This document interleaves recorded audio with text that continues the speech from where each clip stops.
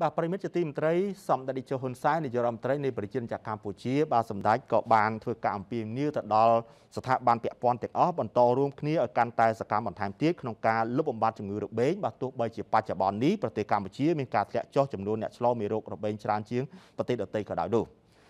តាមរយៈសារលិខិតនៅក្នុងឱកាសនៃការប្រពៃទិវាពិភពលោកកម្ចាត់រោគរបេងនៅប្រព្រឹត្តឡើងនៅថ្ងៃទី24ខែមីនានៃឆ្នាំ2022នេះត្រោមប្រធានបទវិនិយោគដើម្បីបញ្ចប់ការរាតត្បាតជំងឺរបេងគឺសង្គ្រោះជីវិតសម្ដេចនាយកហ៊ុនសែនបានអំពាវនាវនឹងជំរុញដល់គ្រប់ក្រសួងស្ថាប័នភាគីពាក់ព័ន្ធវិស័យឯកជនអង្គការជាតិនិងអន្តរជាតិដៃគូអភិវឌ្ឍនិងប្រជាពលរដ្ឋទាំងអស់បន្តចូលរួមចំណែកនិងគាំទ្រដល់ការលើកកម្ពស់ការងារលុបបំបាត់ជំងឺរបេងក្នុងពុបហេតុ មិនត្រឹមតែរួមចំណែកលើកកម្ពស់សុខុមាលភាពរស់នៅរបស់ប្រជាពលរដ្ឋប៉ុណ្ណោះទេប៉ុន្តែថែមទាំងលើកកម្ពស់សេដ្ឋកិច្ចសេចក្តីថ្លៃថ្នូរឧត្តមភាពកិត្យានុភាពរបស់កម្ពុជាទៀតផងសម្ដេចបានបញ្ជាក់ថាព្រះរាជាណាចក្រកម្ពុជាបានសម្រេចសមិទ្ធផលគួរជាទីមោទនៈនៅក្នុងការប្រយុទ្ធនឹងជំងឺរបេងក្នុងរយៈពេលប្រមាណឆ្នាំកន្លងមកនេះដែលកាលពី20ឆ្នាំមុនប្រទេសកម្ពុជាស្ថិតនៅក្នុងចំណោមប្រទេសដែលមានអត្រាអ្នកកើតជំងឺរបេងខ្ពស់ជាងគេក្នុងពិភពលោកតែក្នុងរយៈពេលយ៉ាងខ្លី កម្ពុជាបានក្លាយជាប្រទេសគំរូមួយសម្រាប់ពិភពលោកចំពោះការងារកម្ចាត់ជំងឺរបេងយ៉ាងសកម្មនិងប្រកបដោយប្រសិទ្ធភាពរាជរដ្ឋាភិបាលបានពង្រីកសេវាពិនិត្យនិងព្យាបាលជំងឺរបេងតាមយុទ្ធសាស្ត្រដូសនៅគ្រប់មន្ទីរពេទ្យបង្អែក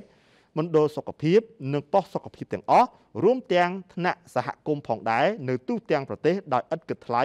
ដែលធ្វើឲ្យអត្រាឈឺនិងស្លាប់ដោយសារជំងឺរបេងធ្លាក់ចុះយ៉ាងខ្លាំងច្រើនជាងប្រទេសដទៃ អត្រាស្លាប់បានថយចុះពី42ករណីកាលពីក្នុងឆ្នាំ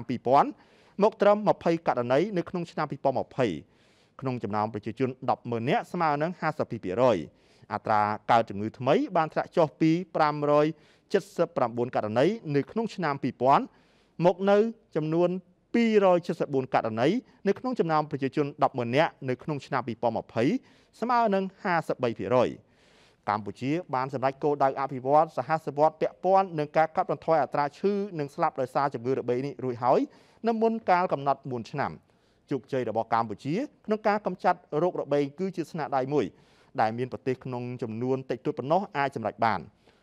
ទោះបីជាកម្ពុជាមានអត្រាធ្លាក់ចុះច្រើននៅជំងឺរបេងនេះក្តីសម្ដេចតេជោនៅតែទាមទារឲ្យជនរួមជាតិទាំងអស់